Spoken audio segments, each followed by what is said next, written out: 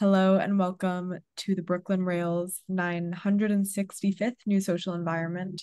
I'm Eleanor, a programs associate here at the Rail, and today I have the pleasure and privilege of being your MC for a conversation featuring Pepe Karmel, Emily Braun, Rebecca Schiffman, Mary Ann Caws, Saul Ostrow, Amanda Gluibizzi, and Phyllis Tuchman. We're also thrilled to welcome poet Ron Horning here to close today's program. And now I will introduce our wonderful guests and host. Pepe Karmel is a professor in the Department of Art History at NYU. He is the author of several books, most recently looking at Picasso. He's written widely on modern and contemporary art for museum catalogs, as well as for the Brooklyn Rail and other publications. Emily Braun is Distinguished Professor at Hunter College and at the Graduate Center, and CUNY Curator at the Leonard A. Lauder Collection. A scholar of modern Italian art and of Cubism, Braun has also organized several award winning exhibitions.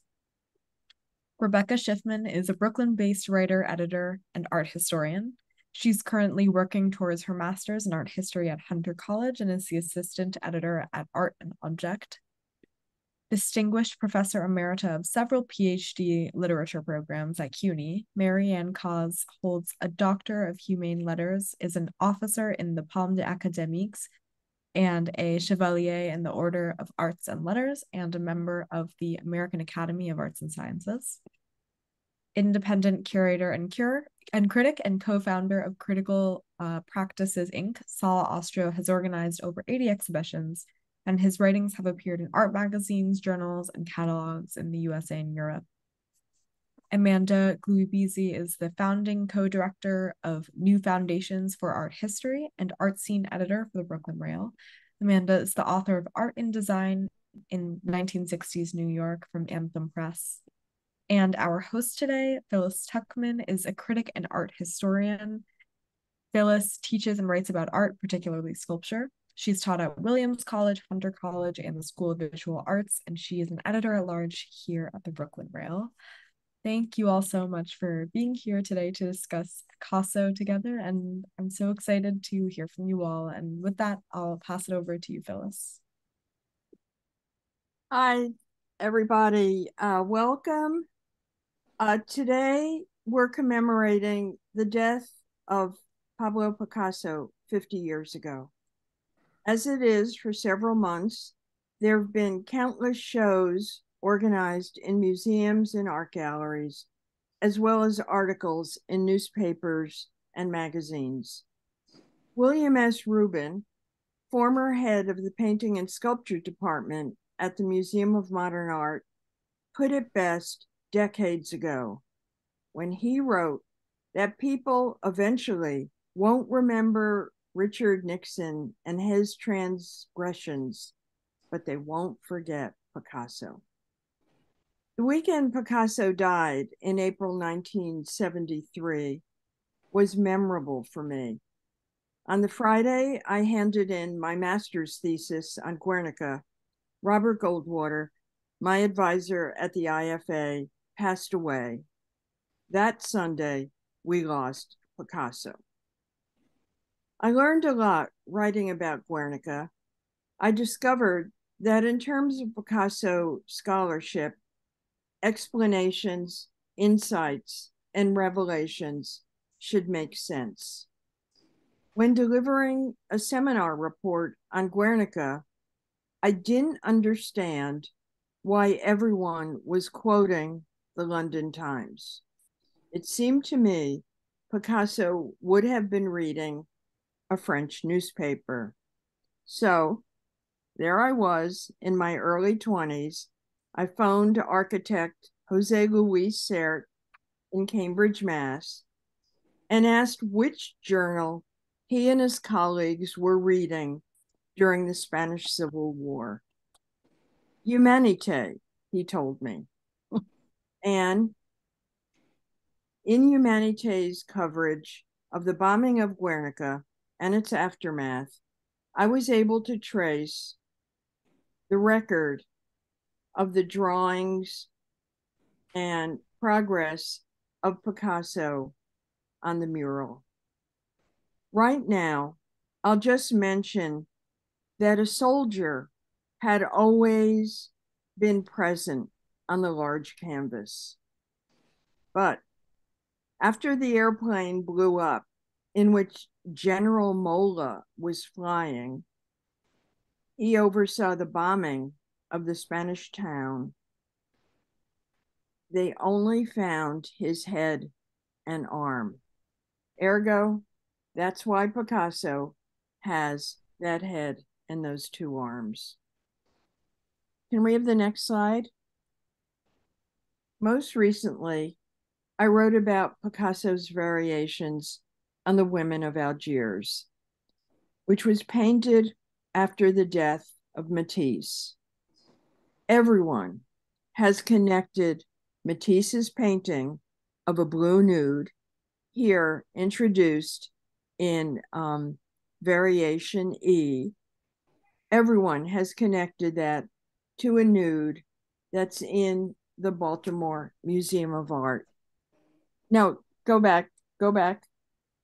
Everyone has connected this blue nude, which then was in the final version O of the painting. But after that incredible cutout show at the Museum of Modern Art, it was obvious that this blue nude connects to Matisse's cutouts. Can we have the next slide? Thank you. Um, there are so many variations on the blue nudes. It's astonishing. It's astonishing that no one had ever connected these cutouts to Picasso's painting. And um, well, we'll leave it at that. Anyway, um, I'm a firm believer in what we say about Picasso has to make sense.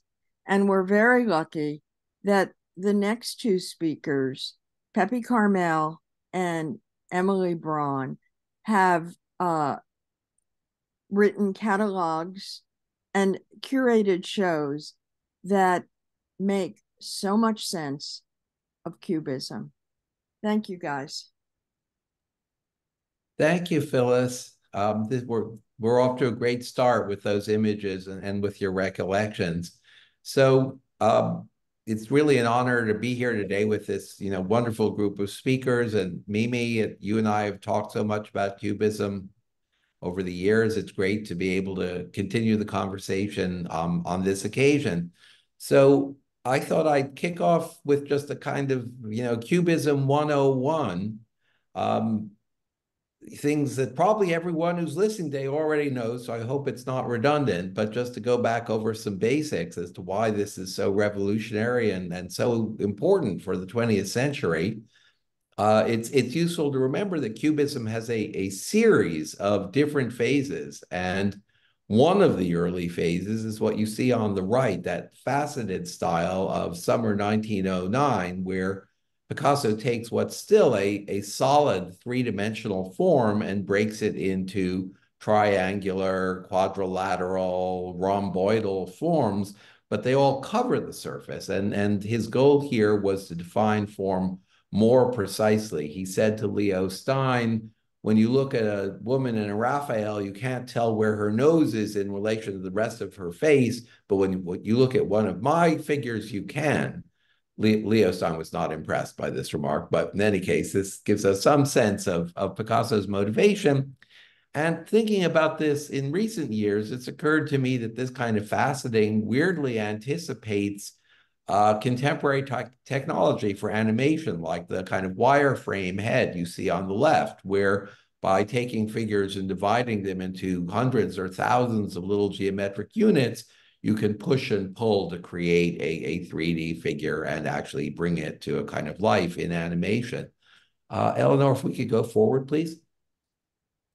Then the, the next big turning point comes in uh, the summer of 1910, uh, when Picasso uh, goes off to the, the beach town of Cadaqués in, in Spain near the border with France and starts drawing these figures and then ultimately painting figures where the facets, which previously covered the surface of a coherent three-dimensional form, now unfold and start spreading out into space. And you can see this in the, the drawing on the left, which is in the uh, show at the uh, Metropolitan right now that I'll come back to later, so that there are, um, you know, those two triangles just above center, which are actually the insides, the, the contours of the insides of the figure's arms.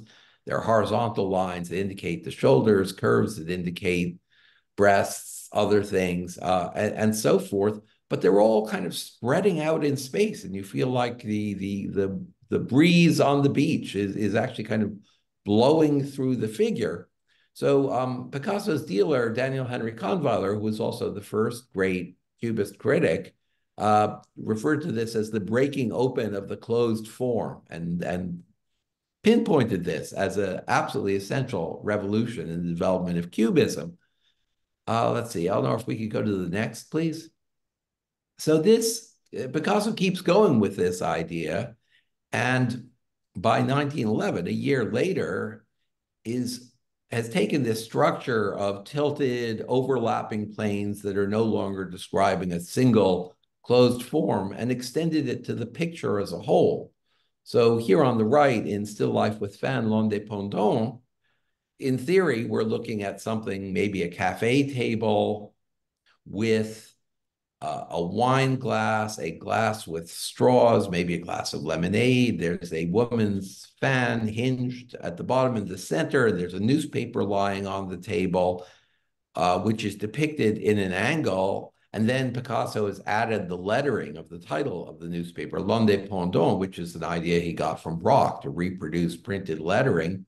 And all these things overlap. You can't really tell where they are in, in space anymore. It's like a collection of moments of perception that are brought together within the structure of the picture. The structure of the picture now has its own independent logic, which does not depend on knowing where things actually were or things actually are in space. So this creates, you know, an absolute breakthrough into uh, painting that's independent of reproduction of what we see, while at the same time depicting the recognizable world. Then in um, the following year, I don't know if we could go forward yet again, there's this sudden stripping down of cubism. In fact, many of the overlying structures remain the same, but they suddenly become visible. There are fewer lines, fewer colors, often less paint. I mean, here I'm showing you a papier-collé on the left, which is a drawing with pasted papers, but even the paintings, things get simpler. And now we see the vertical and horizontal lines that form a kind of lattice holding everything together, and the tilted planes and the curves are, as it were, stuck onto this lattice. If you imagine you know, a jungle gym and a playground, or for that matter, those, you know, fantastic recent sculptures by Sarah Sze with a kind of 3D lattice making a globe and then screens with images scattered around them. I mean, that is in fact a descendant of this kind of cubism. Uh, but also Picasso at this moment, responding once again to Braque, starts introducing strips of newsprint. So the real world gets back into the picture not by reproducing what things look like, but by bringing chunks of reality in. Obviously, it's just a short step from this to Duchamp and the idea of the ready-made. You know, you start putting real things in the picture, and after a while, you ask, well, what do you need the picture for? Why not just have the real thing? Also, of course, uh, you know, again, I'm not saying anything everyone here doesn't already know. This structure, verticals and horizontals, is tremendously influential on, you know, other artists you've heard of, like Piet Mondrian and Kazimir Malevich. So the whole story of geometric abstraction really takes this kind of picture as its point of departure. And uh, I'm trying to remember the last one, if we go forward once again, Eleanor. Okay, let me hand this off to Mimi, who I think is going to bring in some other very important issues. And over to you. Thank you, Pepe. Actually, Eleanor, do you mind just going back one, back to Pepe's last comparison? Thank you. So Pepe's just given us the overview, the stylistic uh, evolution of uh, Cubism. Uh, cubism, as it came to be known, unfortunately, a pejorative term that was given in the fall of uh, 1908, because the painting of little cubes has very little to do with what is going on uh, in the Cubist revolution. Another productive, generative, and perhaps even postmodern way of looking at Cubism and Picasso's singular contribution to it is as follows uh, to see it as a concerted interrogation of the Western pictorial tradition. And by that I mean easel painting. This interrogation writ large, not just on the level of radical formal innovation, which it was, but also an interrogation of its conventions of genres, its convention of representing gender, and its conventions of uh, material, using materials and materiality. So first and foremost, as Pepe just articulated, uh, the dismantling of the very means by which three-dimensional illusion is created on a two-dimensional surface. Uh, and that would be uh, atmospheric and linear perspective, and then various techniques of light, dark, or chiaroscuro modeling.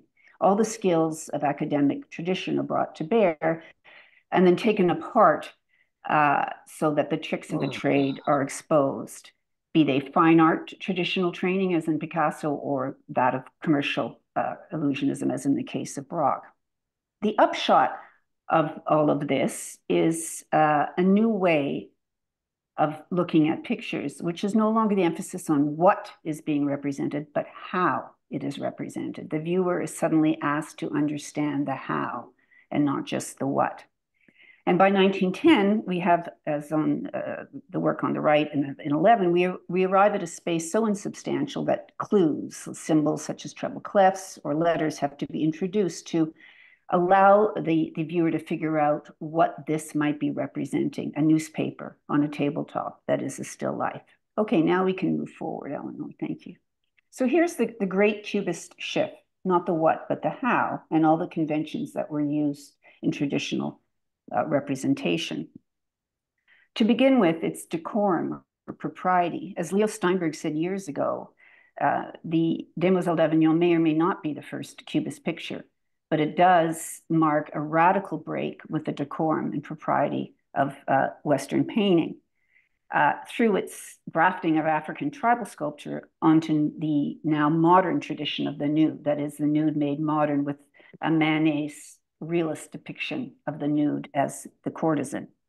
But here, an unprecedented, radical, violent treatment of the female nude. And Picasso's cubism goes further because it begins to play with and confound the genres, not just the nude, but still life and landscape and the portrait. And the two nudes on the right, for example, people are often struck by is it, are often say to themselves, and I've heard this repeatedly, are these two nudes in the studio or are they in a landscape? And it's both. And repeatedly in 1909, in particular, Picasso was putting nudes in armchairs with a landscape background. So he's uh, raising the question of, of what is what genre are we in? And he's also raising the question of gender identification and what in his time a binary of masculine and feminine or male or female. So if you look at the figure on the left, if you were to remove the semicircles that denote the breasts, uh, and perhaps also the canting of the head, which we are conditioned to think of as female, he'd otherwise be hard pressed to decide if it was a female or a male figure. And Picasso does this again and again, particularly in 1909, uh, where he also makes female figures very masculine.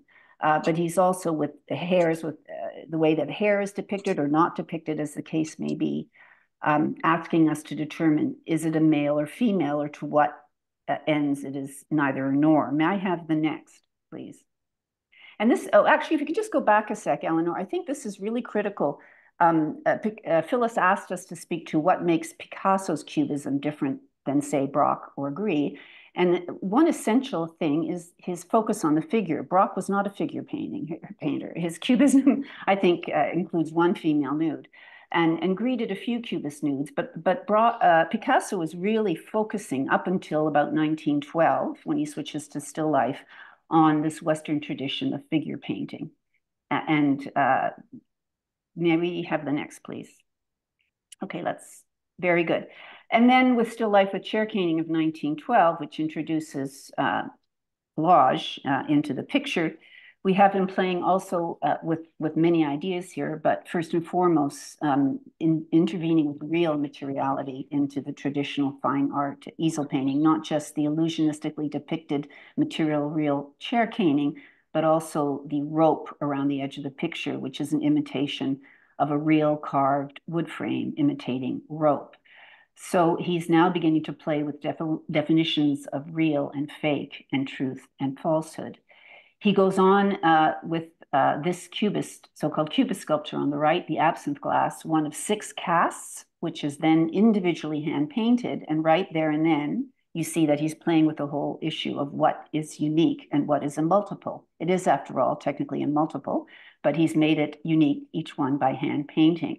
And then he's introduced the real absinthe spoon uh, to confound the viewer again about conventions of sculpture in this case, and also introducing a new art form of assemblage.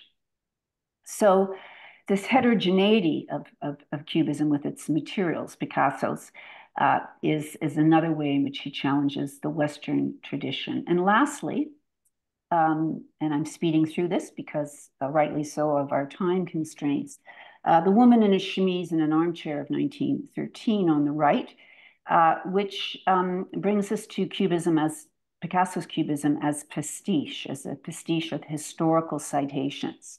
Uh, here we have uh, Ingres meets African tribal sculpture and soft pornographic postcards and pinup uh, photography, which is all brought together uh, in a picture which has uh, been accused of, of being misogynist, but also by certain feminist art historians as being Picasso's parody of uh, soft pornographic treatment in popular culture of female nudes. So on so many levels, Picasso's Cubism challenges uh, the Western tradition and makes us aware of its illusionistic techniques, its conventions of genre, its conventions of, of depicting masculinity and femininity or androgynous figures, um, and high and of low. And uh, that's why it's much, much more um, than just the painting of little cubes. Thank you. So um, Eleanor, do we still have a couple of minutes for this segment? Because Mimi, I, I wanted to go back to something you were just showing us, the, the two nudes uh, seated on the right of, at the beginning of your presentation. Um, Eleanor, if we can bring those back, please. Thank you. I, I, I want to add, you know, I, I, Mimi has just pointed to, you know, all kinds of incredibly important issues and thinking about Picasso that you know are one of among the reasons that he's still a, a figure of vital interest today and I hope I brought out some other issues in his work. But there's also something just about the sheer power of the paintings. And one of the things I love about these this two nudes on the right is that it doesn't fit into any neat formal you know historical evolution like the one I was trying to put together you know that I went step by step by, and it all, I hope, made sense because I left a whole lot out. Pictures like this with the Cezannean shading, the bodies that are flat in some places, and then profoundly modeled in others, like the, the thigh uh, uh and the buttock on the left. Uh, and as you were pointing out, you know, are we in an interior? Are we in an exterior? Are we in a landscape? they are so mysterious and so powerful. I mean, maybe, why do you think these? Why is this so great?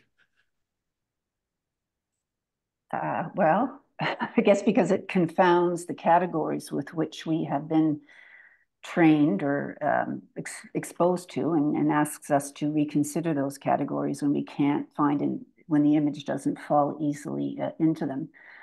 Uh, that's one answer. One answer is simply the the monumentality and the uh, technical facility, which Picasso was always using and showing off. I mean, to plug this back into the real world, you you've spent you know decades working with Leonard Lauder on assembling this you know utterly amazing collection of pictures, and um, you know I'm I've been impressed over and over by your joint decisions to you know, pick out to find paintings like this that are incredibly powerful and that don't don't necessarily fit into a conventional narrative. Do you remember the first time you saw this firsthand? You know, what did it feel like? This particular picture was uh, acquired by Mr. Leonard Lauder be before I started as his curator in 1987. But I do remember looking at this picture and, and being, uh, first of all, noting that it had been lined, which is a rare, a rare um, thing in, in the collection, in the pictures that he has acquired. Uh, but also being kind of stupefied by the almost by the unconventional depiction of the heads, the removal of specific facial facial features, the um, uh, the modernity of the abstraction of of the skull and of, of the faces, which some might interpret as a kind of profound dehumanization. And here we are in years before the, the First World War and, and not after. And this extreme reduction and the treatment of the nude, which is really unprecedented. Yes. Yes. Um, Phyllis, should we hand this back to you? Uh, well, my comment about those two nudes is is partly how physical they are. I was astonished many a, a very long time ago at the old Tate, which is now the Tate Britain. The the physicality of Picasso's figures is astonishing. He just you could see the man wanted to make sculpture and he did make sculpture, but he was able to paint that way. So uh I guess we're we're going to if if you want we can continue now um okay. uh the Brooklyn Rail has an astonishing number of reviews in the December January issue of the many Picasso gallery and museum exhibitions around the city. So uh, we have uh, the reviewers speaking about their experience now. Thank you. Okay, should I butt in right now? Please do. Okay, so uh, Picasso said, I represent Spain in exile.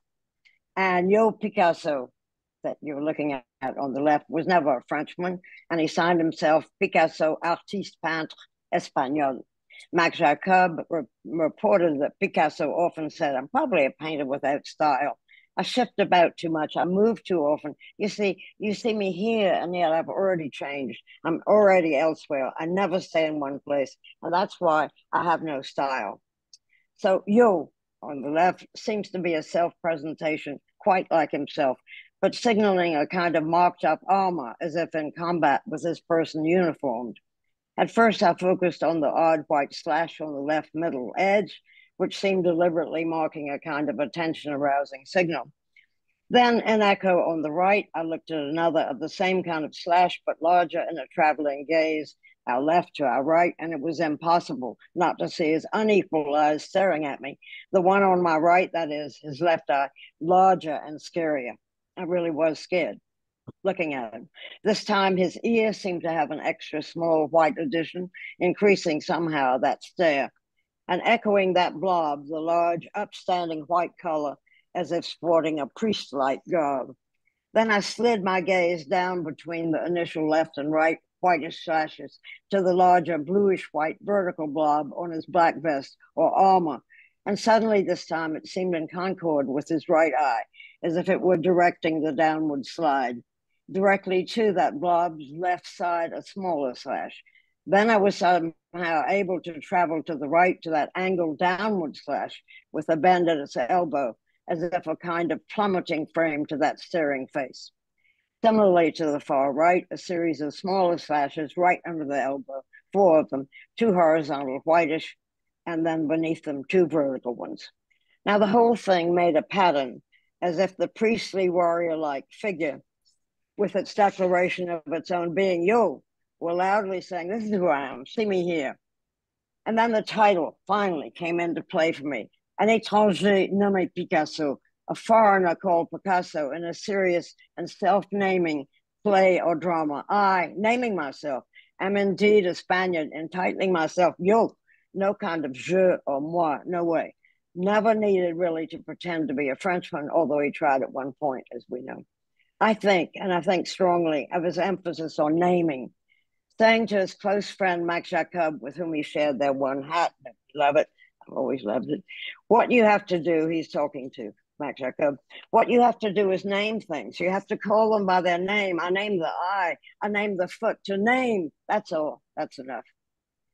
He declared about his paintings, and that surely includes the self portrait. I put in my paintings everything I love, and tough luck for the things, they just have to get along with each other. Those slashes get along with that black shirt or uniform, and Picasso certainly got along with himself. Yo, Picasso. And then the new Au Miroir Jaune, this totally amazing. I mean, that one just floors me totally. Totally amazing, complicated nude and the glorious yellow mirror. At first, I couldn't absorb the wealth of detail. Against those white and black stripes, like a Venetian blind, or then a set of piano keys, that astonishing naked figure with its observant eyes and its teeth like a comb for the throat and its hairs dangling or draping behind the protuberant tummy with the navel above and the little feet echoing the eyes. Quite adorable. Then, my goodness, on the wall on which the mirror hangs, the echo of those stripes with the shadow on the right gazing and speaking at the mirror. So it now became an entire drama of striping and speaking or shouting or just being amazed at the mirrored scene. A word I seldom use, but quite a grand word, the word agape, comes suddenly to mind. That naked man, although that tummy reminds me of a pregnancy, is quite like a skeleton gaped at. That head confronting us from the mirror could have inserted those teeth and comb into its mouth agape, given Picasso's genius. Yo, Picasso. So then, Picasso, l'étranger, the foreigner so much one of us, and in no way the stranger, l'étranger, of course, being both, was in no way either a coward, as the yellow frame of a mirror might have suggested to French people of an epoch when I used to go to France in the beginning. And the term confronting comes to mind as the term agape did just now. I think this is confronting. The loudly declaiming self, you, in which we should read loudly aloud the exclamation point, you, inserts himself in the skeleton shape of a new au miroir jaune and sees his own death with his stare transfixed, indeed mirrored. His armor, with its slashes for bravery, marks him as no foreigner, no stranger to death. We, many of us, joined to salute his life and his death in Avignon, just as we had filed in his honor when Guernica made its farewell to New York. We all stood in line and bade farewell. To confront those two works, these two works you're looking at, is to salute that foreigner as in no way a stranger, except a very momentous one. The strength of the embattled armor imposes its very self upon that mirrored skeleton, and we salute them both. Thank you. Oh my God, thank you.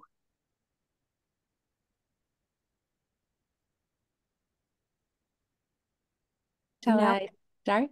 Yeah, thank you. Just want to say thank you for including me in this conversation. I'm so excited. Um, I worked on a review for the MoMA show, Picasso and Fontainebleau. Um, and the show focuses on a summer um, of 1921 where Picasso brought his wife Olga and their newborn son Paul to this to Fontainebleau, a city small a small city right outside of Paris. During this time, the Picasso worked in a small garage studio in their house, and he produced two very large and astonishingly different looking paintings, and he made two versions of each of them. So the first one was Women at the Three Women at the Spring, and there are three colossal and sculptural women painted in a neoclassical style. They crowd around a spring, each holding an amphora. Their dress and setting evoke Greco-Roman antiquity, and Picasso produced one major painting of the three women and one, one large-scale red chalk drawing of the group. And he also made many preparatory sketches of the women, many of which are on view in the exhibition.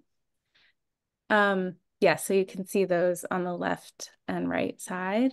Um, if you can go back to the other one, I was just going to mention it. So this work, The Spring, shows the trope quite clearly that he emphasizes in Three Women at the Spring. So here we see a woman in a white gauzy tunic who leisurely lies down in a classical landscape.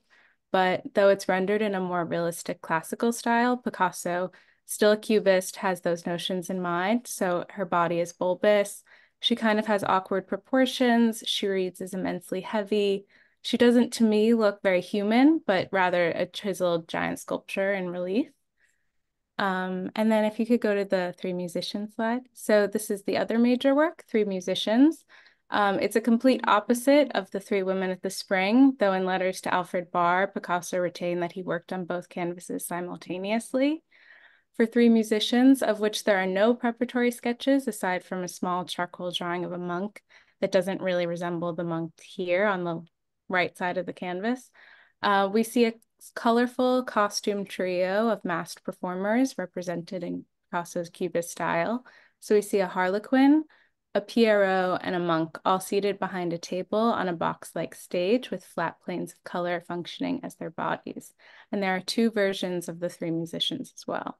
So the show overall is a deep dive into Picasso's summer in Fontainebleau, not only reuniting these four major canvases for the first time since they were in the studio, but incorporating photog photographs, letters from friends who visited, maps of the city of Fontainebleau, and how Picasso was inspired by the city. And it also trans um, part of the exhibition, which I wrote about, was that it transforms a hallway into the exact dimensions of his garage studio, allowing us to see what it was like to work on these giant canvases in such a closed and cramped space. Wow.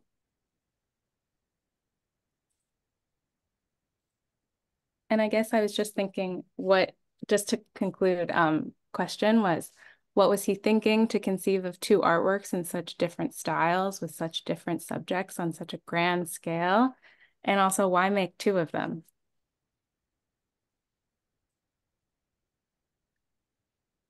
Well, the the the the painting on the left, the one from the Philadelphia Museum, um, they have investigated it and it's in a catalog with a black cover that the Musée Picasso issued with a photography show.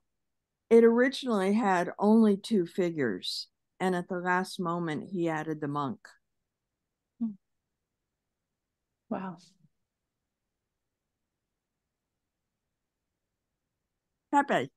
Hi there. So back to Cubism, back more of me talking about Cubism. It's getting a little embarrassing. Um, so this is a really wonderful little gem of a show that's at the Metropolitan Museum. It's it's one in a series of focus shows organized by the Lauder Center. Um, in this case, the starting point is a overlooked historical episode uh, that the uh, curate, the lead curator, Anna Jozefacka, went back and investigated, it turns out that there was a guy named Hamilton Easter Field living in Brooklyn. I mean, where else? Of course, you know, le leading cultural center since 1909, um, who had met Picasso during a visit to France uh, in that year and thought, wow, this is great, and wrote him a letter in the spring of 1910 saying, you know, you ought to be making decorations, uh, not just easel paintings. Uh, you need to be making decorations. And it so happens I have a library in my brownstone, and I'd like you to do a series of panels to decorate the room, completely covering all of the walls. I mean, you know, those of you who remember, you know, Clement Greenberg, has he been canceled? Are we still allowed to talk about Clement Greenberg? But uh, Greenberg, you know, vis-a-vis Jackson Pollock, talked about the the shift from the easel painting to the wall painting 30 years later. But uh, Hamilton Easter Field was already thinking about this in 1909, 1910. So in 1910, he sends Picasso a letter with the exact dimensions of all the spaces in his library he'd like him to fill. And amazingly enough, Picasso says yes, and he starts working on uh, figures and compositions and thinking about what's what's going to go into these spaces. And he keeps coming up in his letters for a number of years. Unfortunately, a lot of the really big paintings that we know he actually worked on, because we can see them in studio photographs, have been lost or were destroyed. They just didn't work out. But what survives is our, our group of canvases that um, Jozefacka, together with the Met curator Lauren Rosati, have brought together, which are a number of vertical paintings intended mostly to go next to doorways. Actually, Eleanor, can we stay with the last slide for just a moment? Thank you. Uh, and then a number of long horizontal paintings that were intended to go over the doorways. Those are the ones you see on the far wall together with one of the vertical paintings. On the right wall, there are some drawings, including, I think, one that I showed earlier. So what I love about this show is it is really a deep dive into a particular moment and a particular set of issues, and you know, brings this moment in history uh, back, you know, back alive. The other thing that's a, a, little bit disguised by the photograph, which makes the walls look white, they're actually a kind of pale brown, is that it recreates the sense of a domestic interior, of the idea of making a cubist painting is something that wasn't designed necessarily to go into museums, but was meant to go into houses. And, you know, that would have been even more true in Hamilton Easter Field's library uh, than elsewhere. And the installation, I think, very beautifully gives the sense of being a room. It looks much bigger in this photograph than it is in real life. So there's a kind of intimacy to it that you don't always feel in uh, museum installations, which is something that, uh, as we were just hearing, uh, Anne Umland, the curator of the Fontainebleau show, tried to recreate with that passageway that we just heard about, that is literally the size of Picasso's garage that he was working in. So getting back to how small, how intimate things were at the time. So I could go on and on about this show, and of course it's in my, my review for the, the rail, but I want to pick out just one aspect, which is the idea of decoration. Now, Eleanor, if we could go forward. This is something that uh, Field said specifically in his letter to Picasso that you need to make decorations and not just paintings. And of course, you know, what does that mean? How does that fit together with Cubism? This is really quite a mystery. Um, but I think we can begin to get some sense of what it meant by looking at how Picasso's thoughts about this project evolved, because Picasso kept working on it for hmm, almost a decade. In the end, it was never finished. The paintings never went to Brooklyn. They all got distributed. But I want to pick out these three pictures, which in effect are three tries, three essays at making uh, a vertical painting that would fit into one of those spaces that Field had defined for Picasso. So on the left is what's probably the, the very first painting for this commission, The Nude Woman of Summer 1910, which is extremely geometric. It's the breaking open of the closed form that I was discussing earlier. It's very hard to read, but if you try hard, you can see the figure in there. I'm not going to go into a detailed reading now, but it's still relatively simple. I mean, there's you know, a, a, series of geometric forms that are spread out here and there on the canvas and inserted into a kind of lattice or grid of horizontal and vertical bands, light and dark. In 1911, still working on this commission, Picasso paints this picture, Man with Mandolin, and a, a, a, pendant to it called Man with Guitar that's also in the picture, in, in, sorry, in the exhibition. And it's very odd because in both cases, he did the upper part of the picture as though he were just doing a conventional um, easel painting. And then he added more canvas down beneath to make it, to get closer to the right dimensions for Field's library, but he didn't quite finish the bottoms. So one thing that strikes me in this man with mandolin is the clarity of the bottom, which is kind of like the 1910 painting, and then the top part, which has been painted and repainted and repainted from studio photographs and other things. We can see that Picasso did like five, six different versions of the figure, and he just kept adding them. He didn't eliminate what was there before. We're looking um, at you know multiple alternate versions of the figure all crammed together which is uh, i'm sorry i'm quoting the review now but it's like the multiverse uh, somebody just said in the chat well picasso got to the fourth dimension before einstein. He got to the multiverse a long time before the people who started talking about that a few years ago. But all of this still begs the question well what what does decorative mean? One answer is to be found in the paintings, for instance, that Matisse made for uh, Sergei Shchukin, the Russian collector, like The Dance of 1909. There's an alternate version of that painting in the modern, so we could, you know, we all know what it looks like. Big simplified forms, but The paintings on the left here in the center are not simplified. They're incredibly dense and complicated, and it's hard to see really how they qualify as decorations. But by 1915, I think Picasso was thinking actively about decoration, and he came back to this theme again, this time a woman with a guitar, and you can see how he simplified his forms. This is still deep cubism, but there's these much bigger planes with black and, uh, you know, kind of purple colors and the heavy red background. He's working his way towards a decorative cubism. And, you know, unfortunately for Hamilton Easter Field, and unfortunately for New York, this suite of paintings was never finished. It never came here.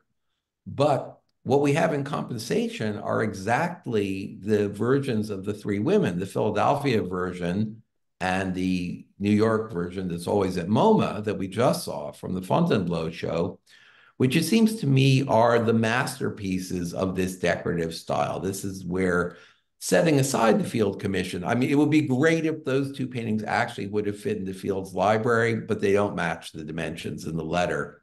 But I think that they are the heirs to this project. These are where Picasso says, okay, now I get it.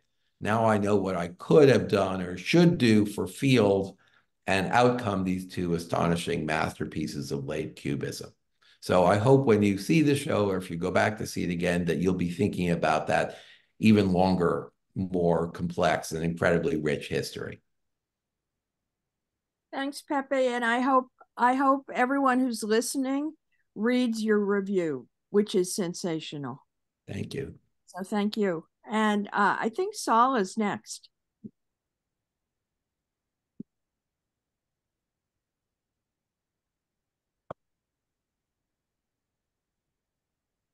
Yes. Saul, I think you're muted.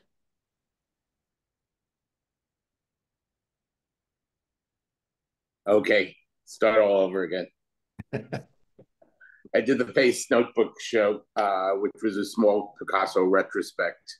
Uh, one of the interesting things about that exhibition for me, uh, not being a Picasso expert or even an art historian, uh, that one realizes that Picasso is not a cubist. It's it's one of Picasso's many many styles.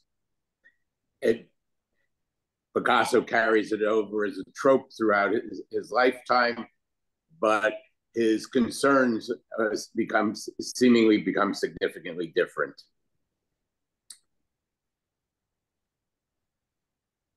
One looks at them in these notebooks in terms of Picasso's processes, and there's more than one process at work. Uh, some of the some of the sketches, some of the drawings in it are seemingly arbitrary notation, so on and so forth, and still others like this this page, we see Picasso working through certain problems, and over a period of time, in almost a traditional manner, compositional problems, iconographic problems, so on.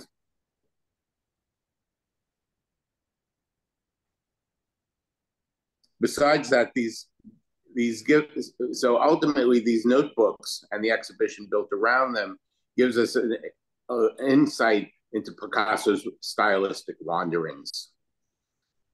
The, seemingly, what I take away from this is Picasso obviously is never an abstract painter. He's always an abstractionist. He's always concerned with the figure or with modes of representation.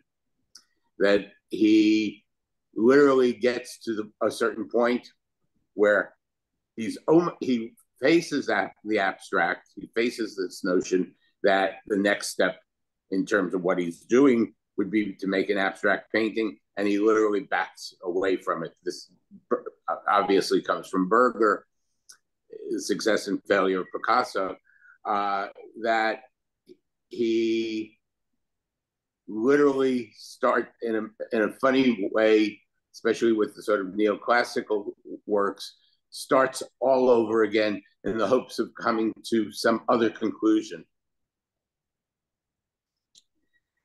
For Picasso, mimetic representation is something he can willfully distort to expressive ends. He's not, or he can, as been pointed out by a number of uh, the speakers, or he can use to create pastiches of differing styles, differing references, and so on.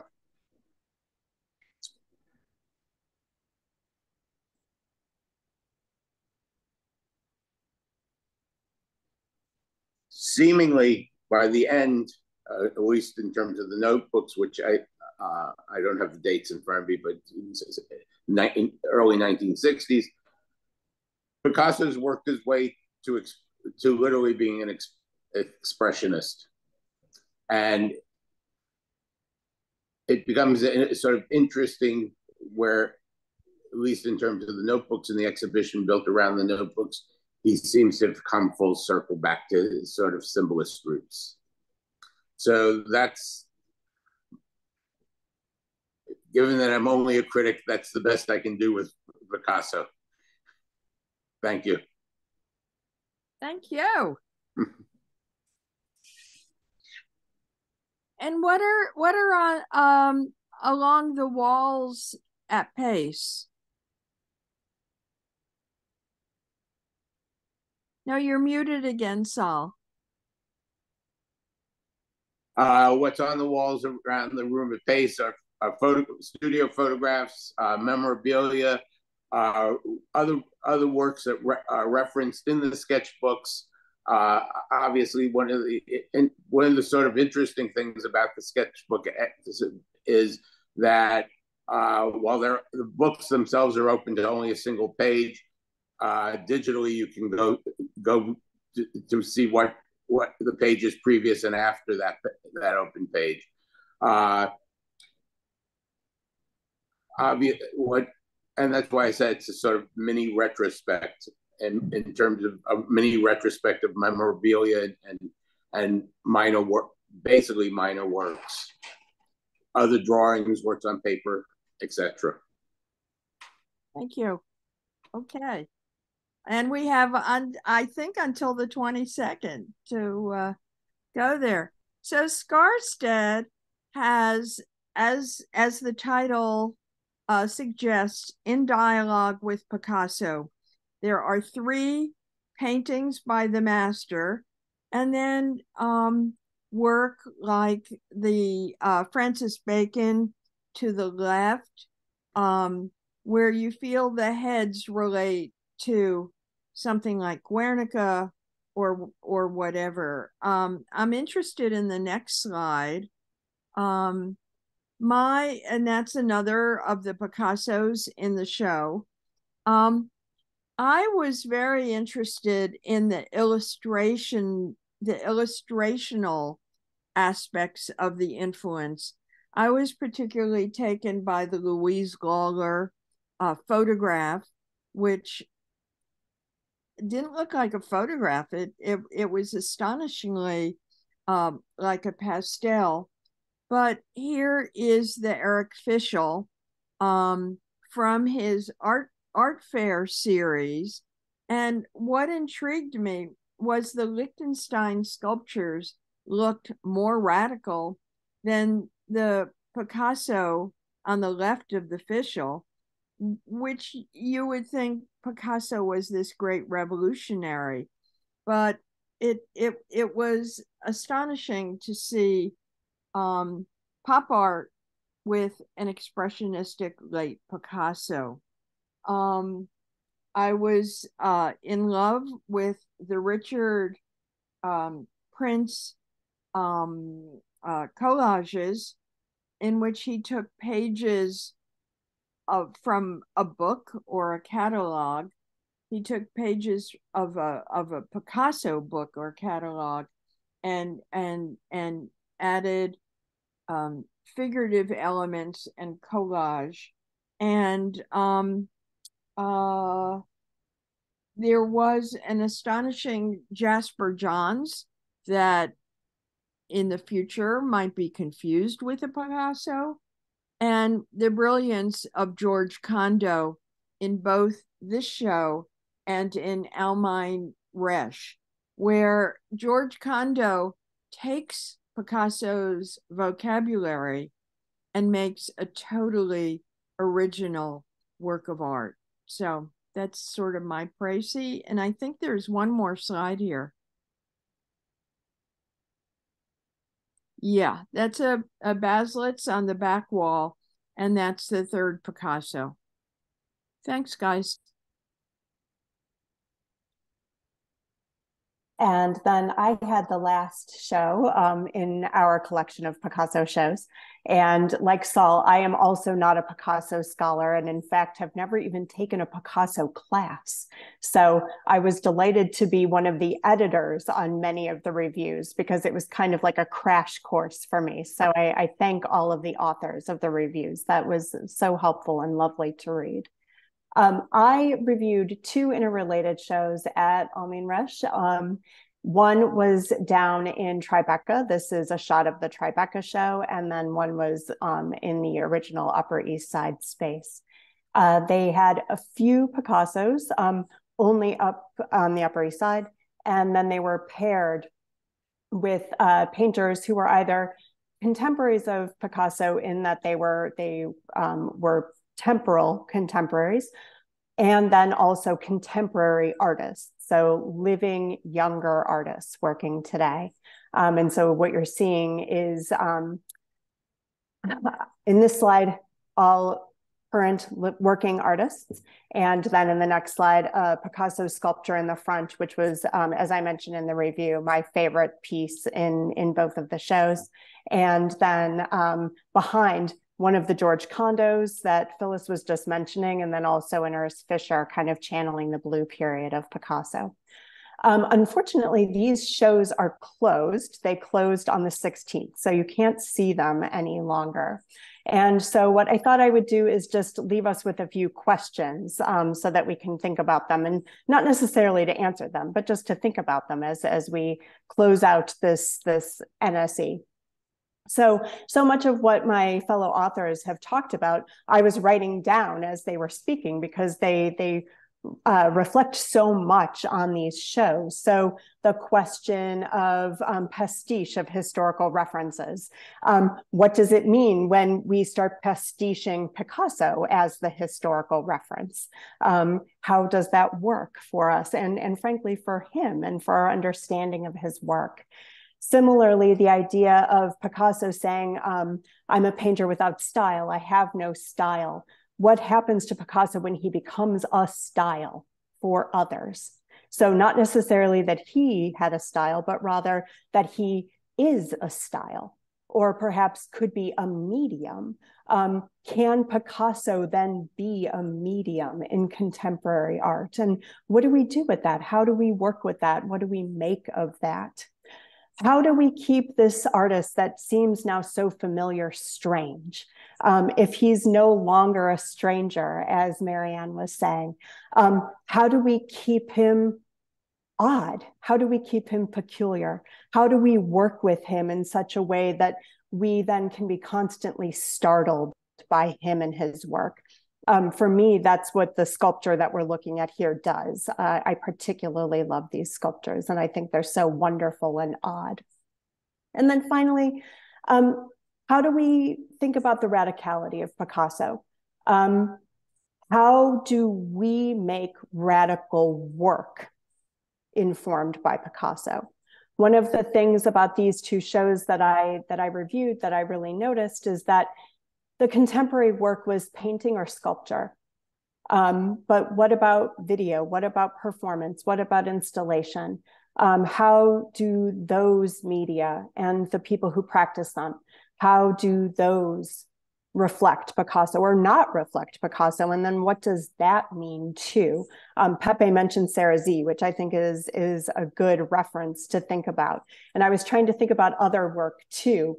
Um, we might think about Orlan, for example, as referencing a Duchamp, but could she in fact be referencing Picasso? Um, if you carve up your face, is that a Picasso in action rather than a Duchampian performance? And so just to end up, um, let's start thinking about Picasso and start thinking about all of the new questions that we can ask about him and his work. Thanks so much. Wow, Amanda, that's why you're a terrific editor. So oh, thank you. uh, I'm glad I can acknowledge that in public. Um, those are fabulous questions. Um, does does anyone want want to respond to Amanda's question about pastiche and style?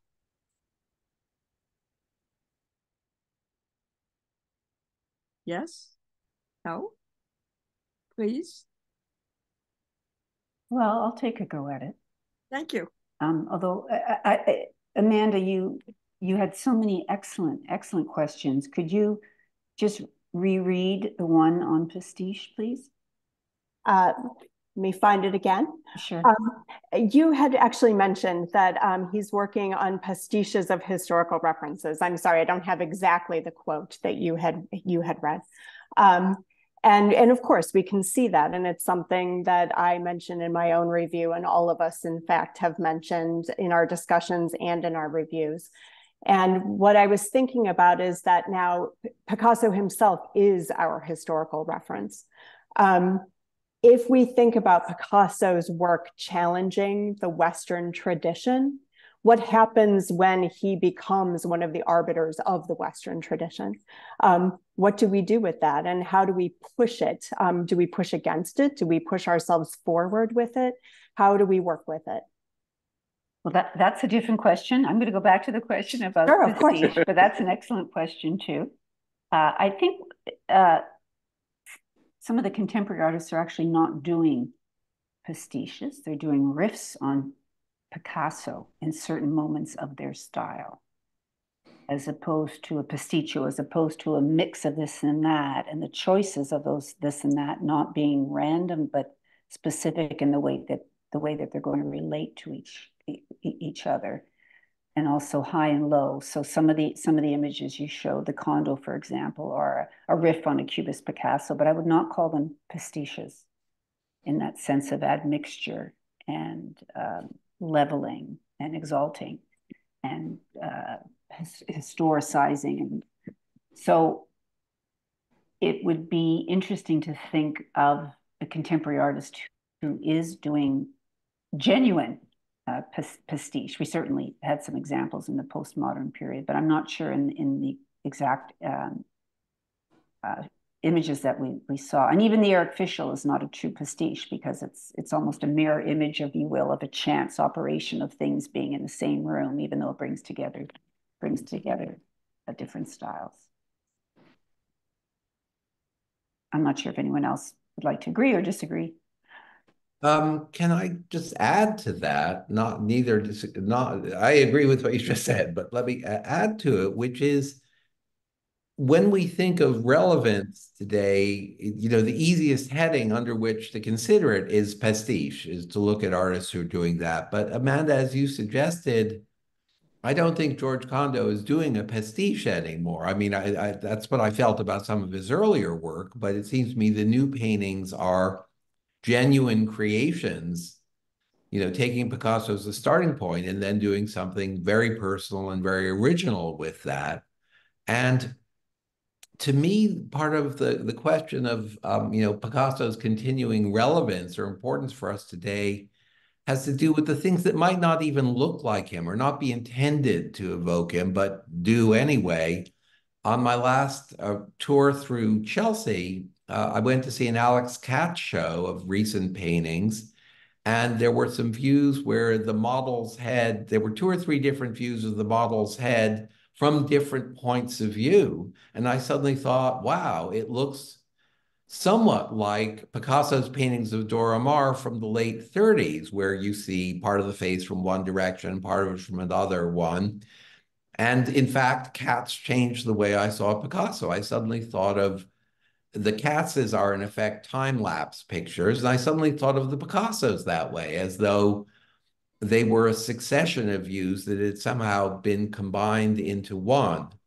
So to me, it's not just about Picasso's relevance or availability as pastiche, but the way that if we look at contemporary art while thinking about history, contemporary art brings passages of history back to life, including passages of Picasso. Can I toss out another question about Ingres? Um, Emily, I was so intrigued by the two, um, by your commenting about the woman in the armchair, um, relating to um, Ingres. And Pepe, you've talked about this in the past. Why was Ingres so important?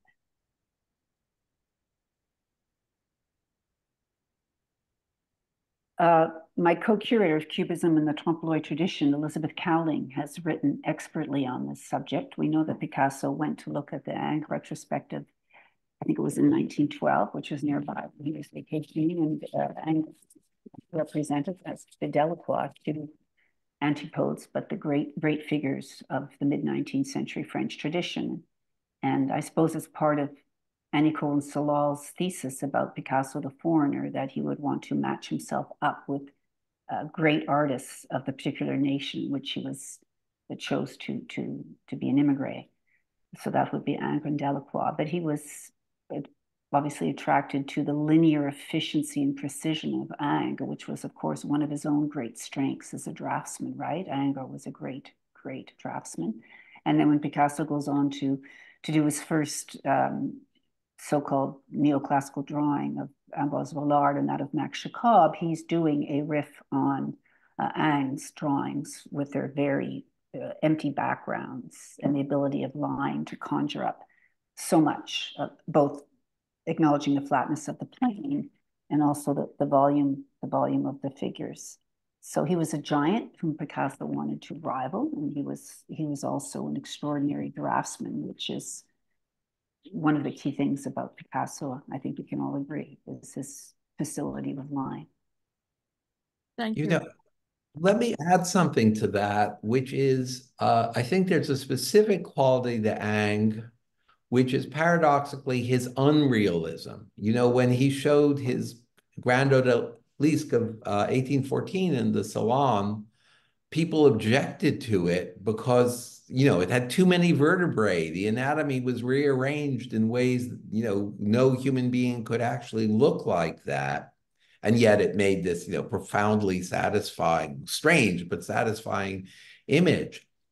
And to, to me, I mean, think about the, the picture we saw uh, a few minutes ago of the source, the reclining woman holding a vase in her lap that looks, you know, it's easy to say it's classical or it's neoclassical. But as the speaker pointed out, there's no human being that looks like that. You know, the proportions are all wrong. The, the, the limbs are bigger, smaller, and everything. I mean, I would sum this up by saying that Picasso is a constructive artist. He's most of the time he's not concerned with reproducing what the world looks like even in his seemingly naturalistic images he's constructing human bodies or constructing objects out of abstract bits and pieces as he does in cubism and my guess is that that's part of what drew him to Ingres. In addition to what Mimi was just saying, yes, Ingres is, you know, towering figure of, of French 19th century art. But in addition to that, Ingres is really strange. And, you know, there's that Grand Odalisque that's put together. If you think about his society portraits, the heads of the women, they're like they're eggs that have got human features attached to them. They're proto-abstract. I mean, they're proto-Picassos. And I, I, think Picasso saw that in him and thought, yes, yes, that's that's where I come from, or part of where I where I come from. Ingres, Ingres, you know, especially late Ingres becomes a man, almost a mannerist in which it's all about getting the figure to fit into the composition. Yes. Very much like Picasso. Absolutely. I think also it's interesting to look at Picasso's interest in El Greco. I mean, similar thing where he yeah. elongates the figure too, and Picasso takes that into consideration. But also with Ingres and the French classical notion, I mean, for the show in Fontainebleau, um, I feel like Picasso was he was looking at the figures in Fontainebleau. I mean, that's where the school of Fontainebleau is from, and French classicism was born. So there's that influence too. But he takes it and completely makes it his own. Yeah, and those Fontainebleau paintings and sculptures. I mean, in addition to the uh, mural uh, the, that they reproduced, you know, a photo in the exhibition, Um, School of Fontainebleau, there's Jean Goujon, the sculptor, whose reliefs are now in the Louvre. They were originally on a fountain in Paris.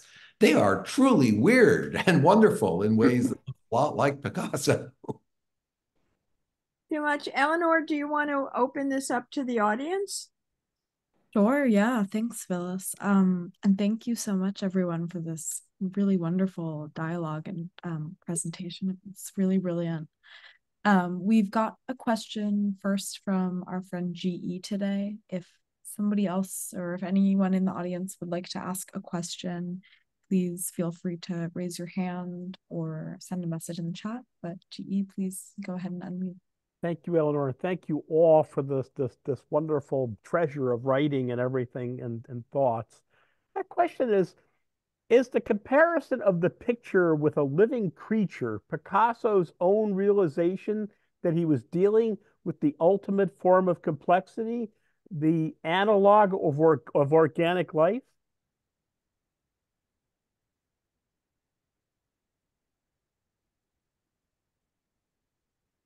Well, sometimes it's organic, sometimes it's inorganic. I mean, I, would say that, you know, with Cubism, he sets himself the challenge of constructing organic creatures from inorganic components, you know, squares and triangles and whatnot.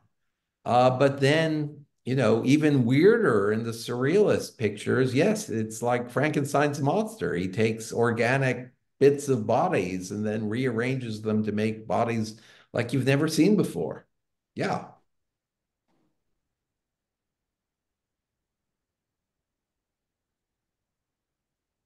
Thanks, GE. Um, we have another question from John. And John, I will give you the opportunity to unmute here if you'd like. Okay, thank you. This is a great discussion, and the exhibitions are just marvelous. And it's quite a treat in New York to have them all. Uh, my question is uh, perhaps the discussion of pastiche uh, brings us in, but what remains of avant gardism as a valid art historical premise as we go forward?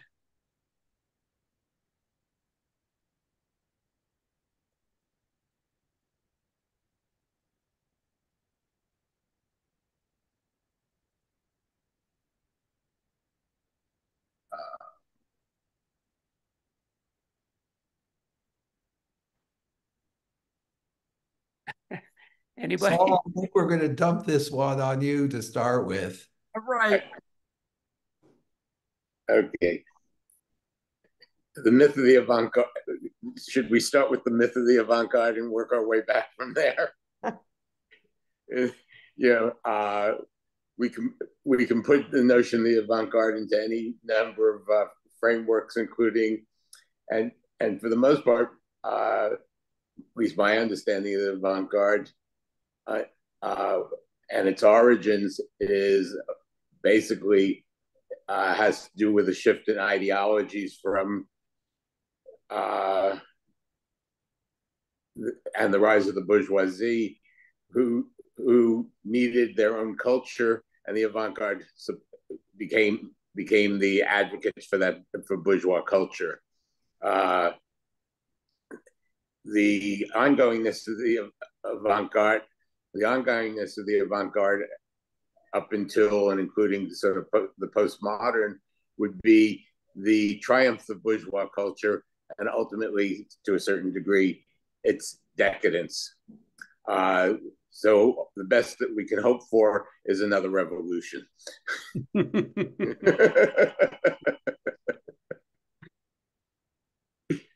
Well with that the sun has come out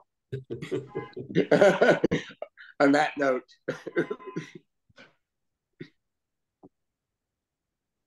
well, thank you for that question, John. Um, our final question for today will be coming from Phong. So, Phong, please go ahead. Thank you, Eleanor. Thank you, Phyllis. Thank you, Pepe, Mimi, Saul, Rebecca, Mary Ann, and lastly, Amanda. Um, I remember going to see the of course, the the legendary show Pioneering Cubism that Mr. Rubin put it on with Kurt Menendahl, other people. I think you were part, one of the participant writer, Pepe. And I it was a very important show to understand the two incredible artists at the time and it just focusing on the only the beginning of cubism. And i thinking back now because cezanne's name mentioned a little bit and then joachim did his show cezanne and pissarro pioneering modern painting. And that was focusing on that collaboration i think 1865 to 1885 or something that period which to me seems to be so useful to thinking about that powerful influence that Cezanne had on Picasso.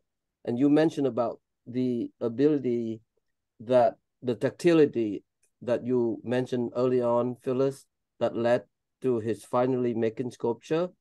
It's interesting to think of how Cezanne had that same commitment to tactility because I'm thinking now of the early Cezanne's show that Sir Lawrence Gowing did in the late 80s when I was still in art school. I remember making a trip to see it.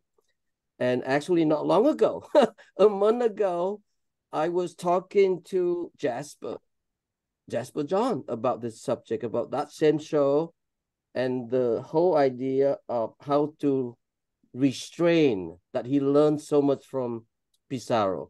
So the notion of restrain the emotional, um, I would say emotional life, all that disturbing anxiety that he had lived with him.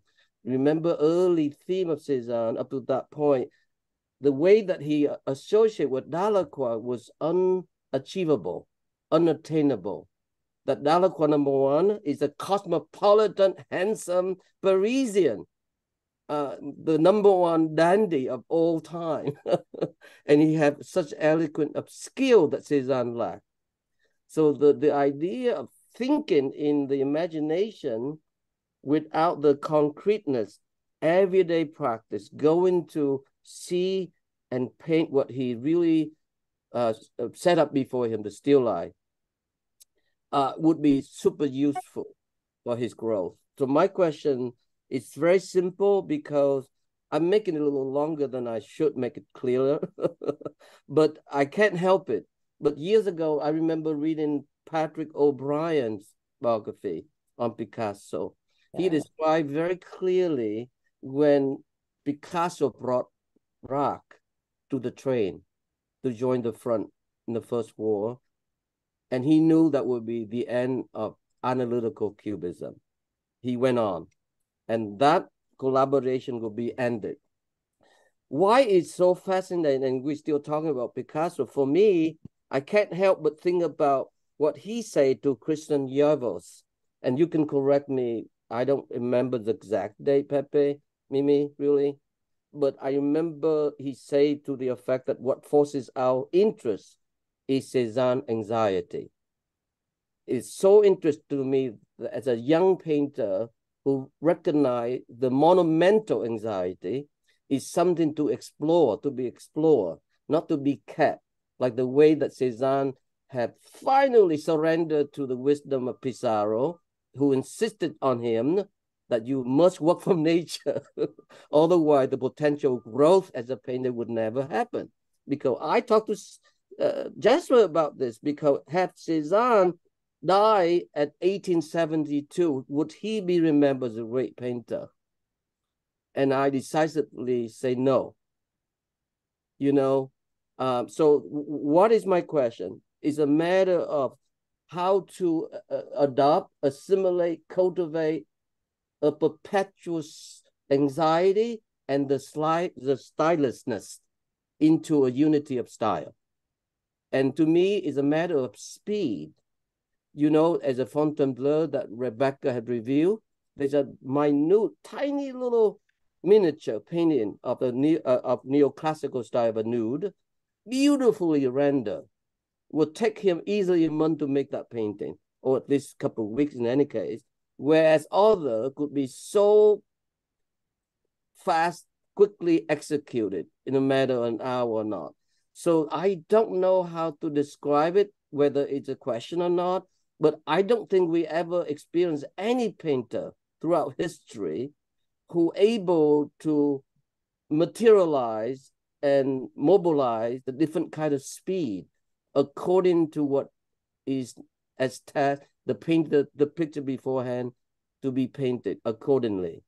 In other words, his thinking is so fast and the hand were able to deploy, train to accommodate that different speed. So I, I guess my question is about speed ultimately and how he's managed to do it simultaneously. As as Rebecca mentioned, also in the morning he can paint a synthetic cubist painting in the afternoon, the same day, neoclassical painting. So that's my question. Mimi, Pepe, and Amanda, and Mary, and Saul, and Rebecca, and Phyllis too. What do you think about that notion? I think it's interesting that Picasso, he takes in so many things from every reference. I mean, first from his father, who was his first teacher, he painted pigeons, to then with George Braque and Cubism. And I think the speed question is interesting because he just ever if you read like the biography, it's like first he did this, then he did that. He did it in sculpture, he did it in painting. I mean, if you see the Hispanic Society show, he did it in sugar lift tint aqua prints, like which is a, something I've never heard of before. It was so interesting how fast how like amazingly he worked on it. I think he just was able to like understand a style and execute it really easily. I don't know how he did it. It's I think what makes him so great, but I think just the way that he looked at everything and did his own version of it. I don't know if think about sense. speed and speed and surrealism. Remember all that thing, the super and brutal, and the speed at which you think are right. So it seems to me to bring up everything. I mean, the word speed brings up a bunch of stuff, especially surrealist stuff. I'd like to decouple the concept of speed from anxiety, Phong. I mean, I, I, I think you brought them together in an interesting way, but I mean, Picasso just had an unbelievable facility. When I was helping Bill Rubin with pioneering Cubism, we counted up how many canvases each of them finished in the years 1907 through 1914. And for Braque, it was 200, which seems like a reasonable number. For Picasso, it was 700. Mm-hmm. So he was working really fast on these pictures that are incredibly dense and complicated. But coming back to the anxiety, let me toss out a theory. This may be total nonsense. I mean, this is just a response to what you said, just you know, fresh off the riddle. Um, it seems to me that Cezanne's anxiety, you know, starts out as being emotional, sexual, all those things you can feel in the early work. And thanks to Pissarro's brilliant intervention, it instead becomes the anxiety about sensation and perception and the endless quest to capture, you know, what Cezanne called his petite sensation. He would just go back day after day after day trying to get it right. With Picasso, it's something else because he's not really interested in capturing perception and sensation. But I think the anxiety becomes almost ontological. Like, what does it mean to make a picture? What does it mean to draw a human figure? What does it mean to create a space in which figures and objects could exist? And obviously, he ends up repeating himself. It's not really true that he's a painter without a style. He's got, you know, a finite number of styles. But one does feel you know, this sense of that every morning he gets up trying to start all over again, trying to forget everything he knows and asking, what the hell does it mean to make a painting? What the hell does it mean to make a sculpture? And that's a kind of anxiety, a self imposed anxiety, which is, it seems to me, really admirable. I, Pepe, I, I do think Picasso was interested in perception and sensation, uh, particularly in the years 1909 through through 1912. Uh, you can see him working with sh with shadows in particular in a way that uh, shows that he's he's very consciously thinking about the way the eye and the mind works and the perception of shadows. If I may just go back to the issue of speed uh, and simply say that speed did not always um, end up well for Picasso. Picasso painted a lot of very bad paintings. Mm-hmm. And so um, the facility that that exhibits that speed or vice versa, the speed that exhibits the facility also leads to a lot of bad paintings. okay, Mimi. Uh, all right. So can we shift quickly from speed, which is you are an expert on Italian futurist uh, artists, uh, including one of our favorite, not quite part of futurist movement, um, Sironi. But can we shift to the subject from speed to uh, the inventiveness of it all? In other words, when we remember how Matisse came to play catch up with Cubism, which is what Elderfield did that brilliant show, Radical Invention. Uh, same thing with Mondrian. I mean, these are both artists who are much older than Picasso. Mondrian began experiment uh, with Cubism as soon as he arrived to Paris 1911.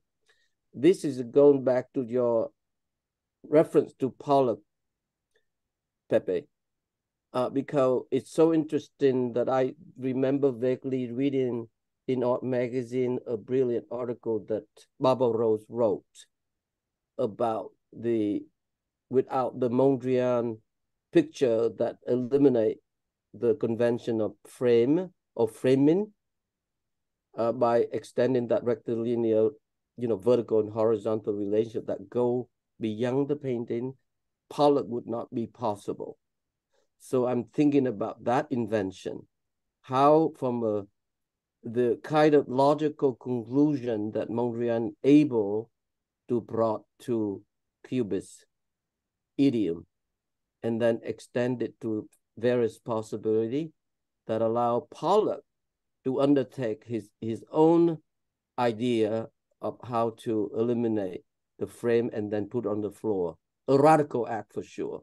But I don't remember how uh, careful I read of it but I'm sure I, I'm asking in terms of why cubism is still matter today. Yes, Phyllis? Oh, okay. I think we just have to refer to the six absinthe glasses that he radically invented each one of them that are so different. I mean, most of us know the one that is about to go to the Met uh, the Leonard Lauder, and the one in the the modern. So I was absolutely astonished the other day to see the one that Almine Rech and her husband Bernard Picasso own. Um, the one that seems not to be treated, but you just look at the inventiveness of how he painted these six variations and you have you you have part of his secret. Okay. Well, I'm I rest my case. I think I heard him. Thank you so much. I urge everybody to come and see the older show, the, those that are still on view. And so thank you so much, Pepe. Thank you, Phyllis. Thank you, Mary Ann. Thank you, Amanda. Thank you, Mimi and Saul. And uh, back to you, Eleanor. Thank you so much, Phong. Um, and yeah, thank you so, so much again, um, everyone, for the conversation and insights today. Um, we have a tradition here at the Rail of concluding our events with a poetry reading.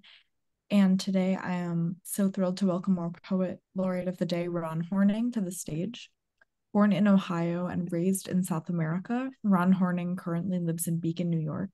His poems, translations, and criticism have appeared in The New Yorker, Aperture, The Brooklyn Rail, and other publications. Ron, thank you so much for being here. All right. Can you all hear me? The first poem is called Studio Visit. He scans the drawing and smiles. I look like a cardinal, completely familiar with the atom splitting propensities of compression, about which, in fact, As I have been trying to tell you, I know next to nothing I didn't learn from someone else I probably don't remember. So the portrait is accurate. Could be, I say, lighting another imaginary cigarette in Paris. While drawing, I wasn't so much looking at your face as I was strolling through the Luxembourg gardens at dusk, trawling the divine trove of images in the Louvre, watching a good Tartuffe at the Comédie, a better race at Longchamp. That is, I was in Rome, vainly listening in the lobbies of hotels and in the private homes to which I had been invited to a late breakfast, an early tea, for the voice of a child, a swift toccata of small shod feet running along parquet floors, a delighted yell, all grace and innocence.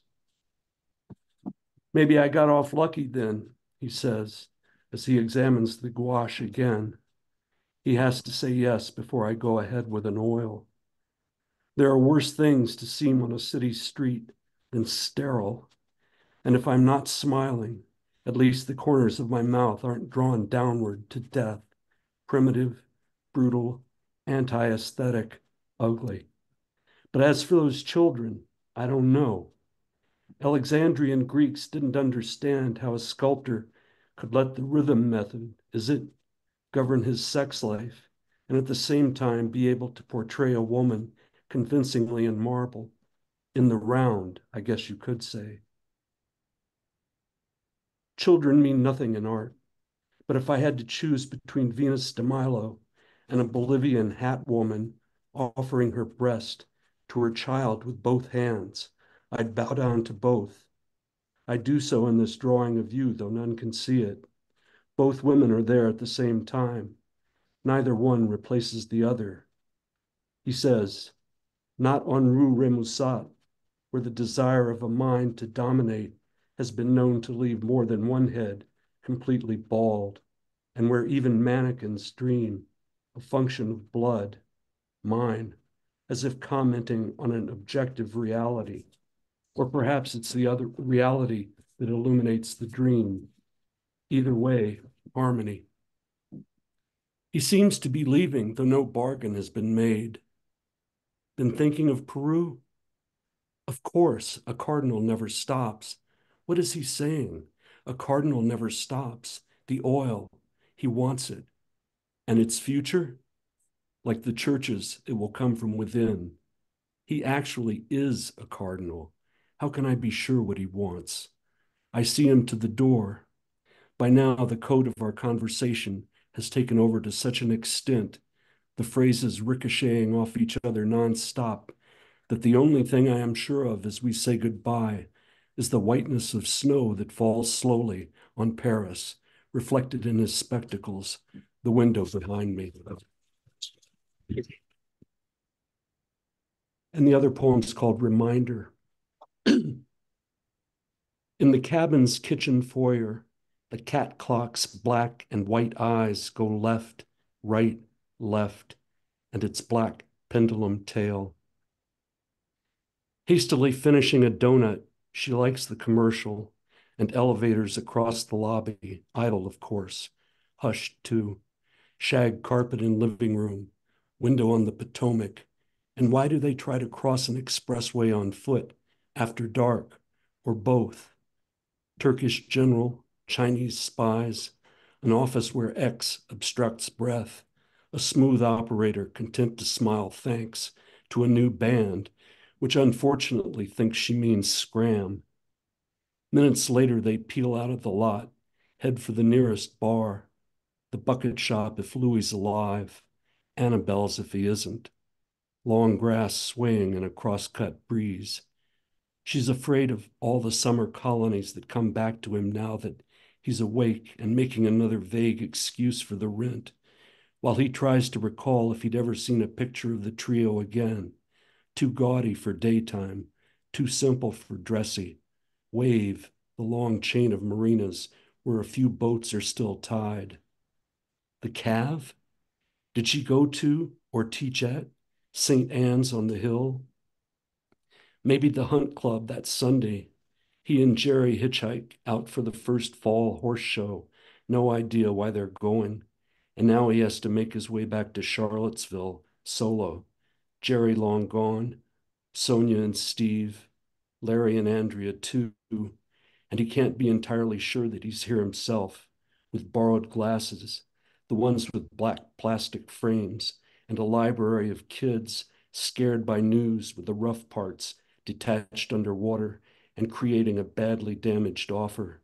One minute missing the next, able to talk back as he scans recording drum first, then the delicate wavy lines, a brain pattern that makes more sense if he reaches for a Winston, strikes a match, finally inhales the good, clean, white smoke, appearance misleading, facts buried in a conference room accident exploited by someone who doesn't know the setup, still waits, a slip of paper that leaves him dizzy, wondering at messages too late for what.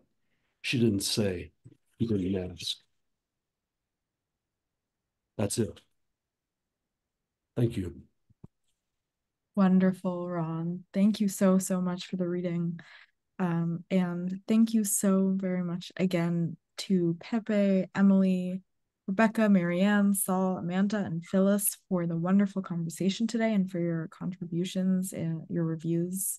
We'd also like to thank the Terra Foundation for American Art for sponsoring the NSE and for supporting our archive, which is on our YouTube channel and where this conversation will be posted shortly.